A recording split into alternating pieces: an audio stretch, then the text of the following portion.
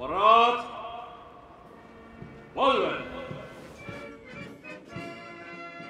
Eesti Vabariigi saja neljanda aastapäeva paraad peeti Tallinnas Vabaduse väljakul. paraadi võttis vastu president Alar Karis ning paraadi juhatas Kaitseväe juhataja kindralleitnant Martin Herem.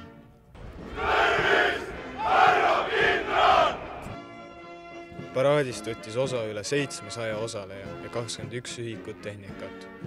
Kokku osales paraadil kakskümmend kaheksa lippu, neli kompaniid, kaksteist rühma, viisteist jagu ja kaks orkestrit. vabariigi aastapäeval eestlane olla on väga õnnis tunne ja hästi suur rõõm.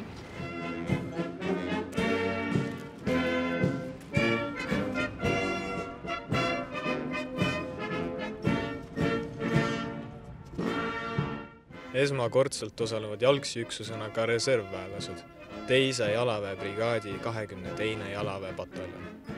paraadil olles tunnen uhkust nende sõdurite üle. tahaks öelda, et palju õnne, Eesti!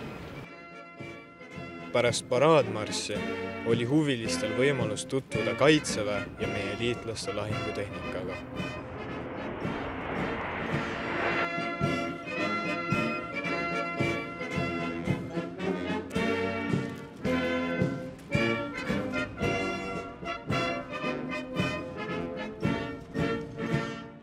Kõigepealt ma sooviksin kõikidele kaasmaalastele head vabariigi aastapäeva, tähistage seda päeva väärikalt ja mõelge selle peale, kui habras võib olla vabadus.